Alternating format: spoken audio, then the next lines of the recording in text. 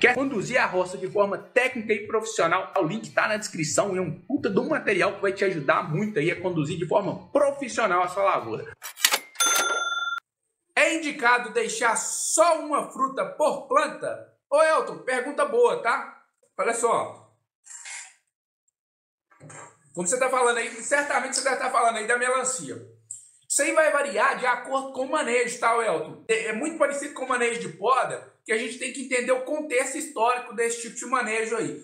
Isso é, é antigo a gente fazer e funciona, tá, cara? Porque quando a gente deixa só uma melancia num pé, no pé ali, você acaba direcionando ali toda a energia da planta para um único fruto. Então a gente acaba conseguindo ter uma qualidade de fruto maior. Então a planta não vai precisar dividir energia entre dois, três, quatro ou cinco frutos aí que pode ter em um pé só. Então, quando você corta os, os frutos ali, você acaba direcionando a energia toda para aquele único fruto e ele tende a ter uma característica ali de qualidade maior. Mas é importante destacar o seguinte: em lavouras muito grandes aí, ah, ou então quando a lavoura já está mais avançada ali, você não sabe nem qual melancia que é de qual pé, ela fica bem juntinha ali, então é muito difícil a gente fazer essa capação aí, que a gente. O nome que o pessoal utilizava antigamente para fazer isso aí era capação, né? fazer essa capação de fruto. Então, você não sabe exatamente que melancia que é de qual pé que é, então acaba bagunçando muito. Então, em manejos comerciais aí, o que, que a turma faz hoje é o seguinte, a turma aposta numa boa nutrição, uma boa genética aí, faz um bom manejo e tenta encher ali, a, dar condição para o pé de melancia encher o máximo de fruto possível, entendeu? Normalmente é isso que é feito hoje em, manejo, em manejos profissionais aí, tá bom? Lucas Ruiz, o que uso para combater virose? Eita, agora que pergunta boa. Turma, pessoal, combate de trips e virose aqui, toda live a gente fala, né? Virose é o seguinte, pessoal. Qual é a estratégia que a gente tem para combater virose? Virose a gente tem que trabalhar com ela no preventivo, porque depois que você já detectou algum pé de virose na lavoura ali, não tem cura, tá, pessoal? O pessoal fala aí que ah, faz isso aqui, passa isso, passa aquilo. Não tem nada que vai resolver problema de virose na melancia depois que ela está atacada. A verdade é essa. Então, o que, que a gente tem que fazer? Erradicar os pés. Se achou um pé ali que ele está com virose, vai lá, arranca o pé correndo. Essa é a primeira medida, tá? Arrancou o pé, aí você vai fazer o seguinte agora. Agora eu tenho que ficar ligeiro com os três vetores: pulgão, trips e mosca branca. São eles quem dissemina a virose na lavoura. Se você achou um pé, na, um, um pé de, com virose ali na lavoura e você não tinha nenhuma incidência de mosca branca, trips e pulgão, com certeza ela não vai alastrar, porque o que faz a virose sair de um pé para o outro são esses três vetores. Então, se você achou um pé que tem virose ali, muita atenção com relação ao seu manejo fitossanitário. Intensifica o seu manejo fitossanitário ali, para de 3 em 3 dias ali, 5 em 5 dias, se for o caso, para você garantir que nenhum desses vetores vai estar tá dentro da sua lavoura nesse período aí, porque virose é sem dúvida nenhuma aí uma das doenças mais sérias que a gente tem na cultura da melancia. É uma roça que você tem um, um ataque pesado de virose ali, muitas das vezes compensa até se abortar a lavoura ali, porque não tem cura e não tem nada o que fazer. Depois que virose entrou, e se ela entrou pesada ali, espalhou, não tem muito o que fazer mais não. É melhor até abandonar a lavoura porque os impactos com relação à produtividade causado pela virose é muito sério. Boa noite, Matheus. Os inseticidas translaminar dão um bom controle para a mosca branca? Ô Adriano, Depende de qual que você está falando aí, tá? A gente tem alguns produtos que eles são mais específicos para a mosca branca e alguns deles são translaminares, sim, tá? Não dá para me te falar só por essa característica dele ser translaminar que ele vai pegar bem mosca branca, não, tá? Isso não é uma garantia. O fato dele ser translaminar não é uma garantia que ele vai pegar bem a mosca branca, não. Você tem que buscar aí produtos que eles são mais específicos para o controle da mosca branca, independente dele ser translaminar ou não. Tá entendido? Boa noite, Cleverson aqui do Paraná. As temperaturas mínimas estão chegando a 7 graus. Até que ponto isso aí prejudica a produção da abóbora? Ô, ô Cleverson, isso é o seguinte.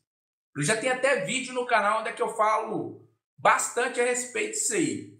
O que, que acontece, cara? Cucurbitáceas, de um modo geral, elas não respondem bem a baixas temperaturas, tá? Especialmente melancia, melão, a abóbora ela é até um pouquinho mais tolerante, mas não deixa de trazer impacto para a produção não, tá? Vou ser bem franco contigo. Ah, para melancia, tem alguns estudos aí que indicam que temperatura abaixo de 14 graus e a vivência prática que a gente tem nas lavouras aí também, que eu tenho visto aí, cara, Temperaturas abaixo de 14 graus aí normalmente traz problema para melancia, tá? Vou ser bem franco.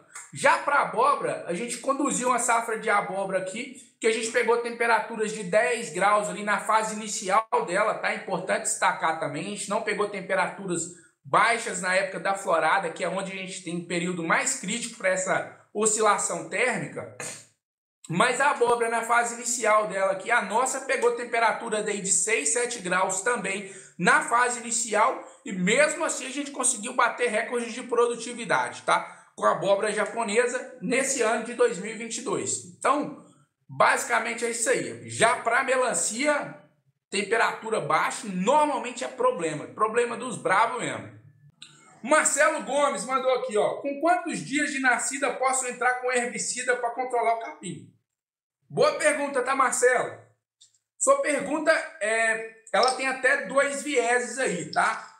Para melancia, a gente não vai ter nem tanto problema, não. A gente pode passar ali, desde que a gente passe aí um seletivo que tenha registro, que possa ser utilizado para a cultura da melancia aí, você pode passar nela até pequenininha. O que eu destaco é o seguinte, é um herbicida, ainda que ele não traga prejuízo, a gente não, não é bom a gente ficar lavando o pé de melancia com, com herbicida. Então, o que, que eu indico é o seguinte, pode usar ali até uns cinco dias, sete dias ali, é quando a gente começa a fazer as aplicações aí. Eu já usei não tive problemas.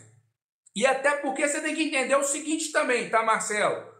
Esses herbicidas seletivos, que são esses graminicidas aí, como por exemplo o Pódium, Fusilade, Select, você tem uma série de produtos desses aí, eles só pegam o capim na fase inicial do capim, tá? Quando ele tá bem pequenininho. Então, você fazer a aplicação deles ali, depois que o capim já tá grande, o máximo que você vai fazer é dar uma atrasada nele, tá? Então, fica muito atento com relação a isso aí. O capim tem que estar tá na fase inicial e a melancia não tem tanto problema se ela tá na fase inicial ou se ela tá lá até se aproximando ali de uma, de uma, florada, tá? Normalmente, utilizando as doses corretas aí, com os produtos registrados, devidamente registrados aí, não, você não vai ter um problema com fitointoxicação não, tá bom?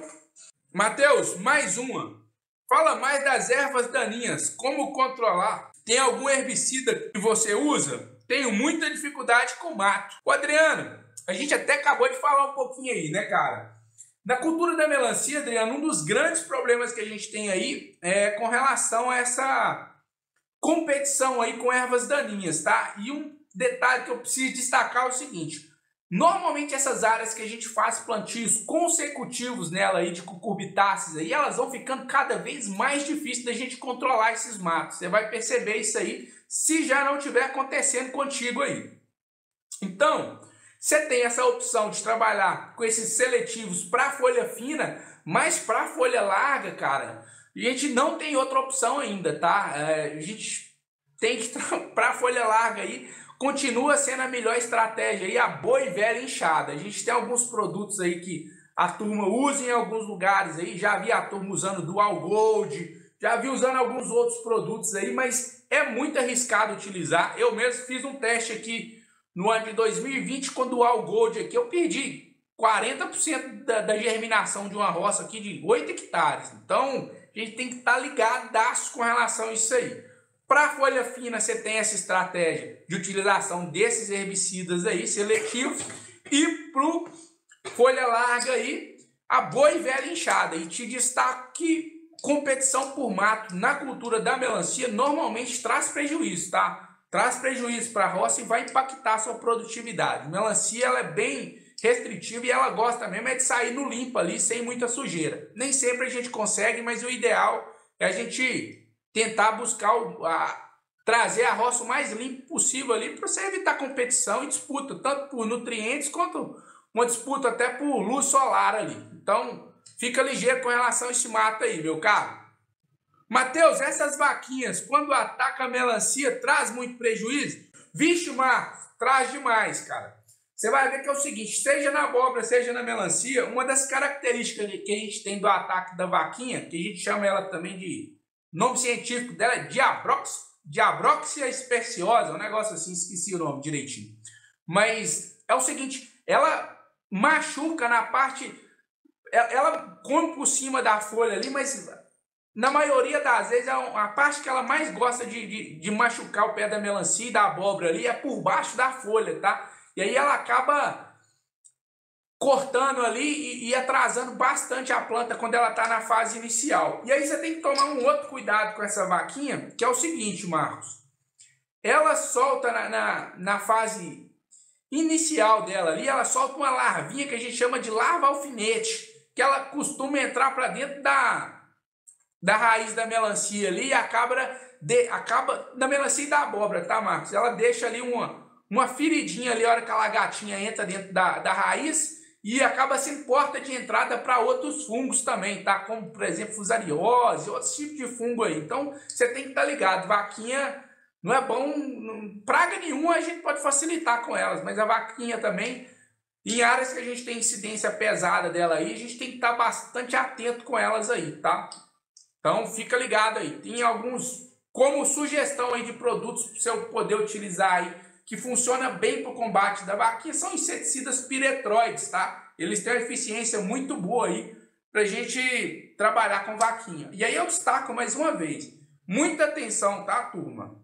Trabalhar com produtos aí que tenha registro para cultura. Boa noite, meu amigo. Você trabalha com fertirrigação? Todo mundo que trabalha com cultivo intensivo aí, grande maioria trabalha com fertirrigação. Ah, o detalhe aí da fertirrigação que um dos requisitos que a gente tem aí é trabalhar com o sistema de gotejamento, né, para a gente conseguir fazer essa fertirrigação. Aqui, todos os sistemas nossos aqui são de gotejamento. Sempre quando a gente planta, a gente trabalha com gotejamento também em função disso aí, por ser uma característica que facilita muito a condução e a operação das lavouras, seja de abóbora, seja de melancia, essa atividade de fertirrigação, porque a gente acaba potencializando muita produção e reduzindo o custo operacional aí, porque a gente fazia adubação manual aí, tá cada vez mais difícil achar mão de obra no campo para fazer, e além de ser muito mais eficiente, a planta absorve muito mais aí, é mais prático, né? É mais fácil de fazer, muito mais rápido. Então,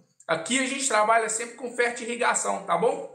E praticamente todas as lavouras nossas aí, sempre que a gente está trabalhando, Claro, destaco mais uma vez, quando a gente tem aí o sistema de gotejamento, tá bom? Mateus, quantos quilos de melancia um pé de melancia é capaz de produzir? Ou não tem uma regra para isso? Ô Mateus, não tem uma regra para isso, tá, cara? A, a verdade é que a gente tem alguns números médios ali. Roças comerciais ali, quando a gente consegue atingir de 1 a 1,5, já é uma boa taxa, tá? Embora possa parecer que não, e eu estou falando sempre de frutos comerciais, quando a gente garante ali ó, de um fruto a um e meio ali, na lavoura toda ali, já é um bom número aí. E isso aí vai variar com relação ao peso aí, cara, muito do seu manejo nutricional. Se você está dando uma condição, deu uma condição de fertilidade boa para a melancia, deu nutrição, fez um bom manejo, e a genética tiver capacidade de performar, ela esse número aí vai subir e mas vai subir cada vez mais aí até chegar no limite da genética e no limite também de disponibilidade de nutrientes no solo ali. Então não dá para me precisar isso aí não, tá bom? Roça não é brincadeira, tem que ser levado a sério. Para quem está procurando conduzir roça em nível profissional na cultura da melancia, tem nosso curso aí. Lá não tem nada de antena de barata com perna de grilo não, hein? Já tô avisando, o negócio nosso aqui é sério e é profissional. Larga essa turma aí da antena de grilo, perna de barata, sei lá que diabo que é isso, e vamos conduzir o negócio de forma séria. Estamos à disposição aí. Quer conduzir a roça de forma técnica e profissional? Entra lá, o link está na descrição. É um puta do material que vai te ajudar muito aí a conduzir de forma profissional a sua lavoura.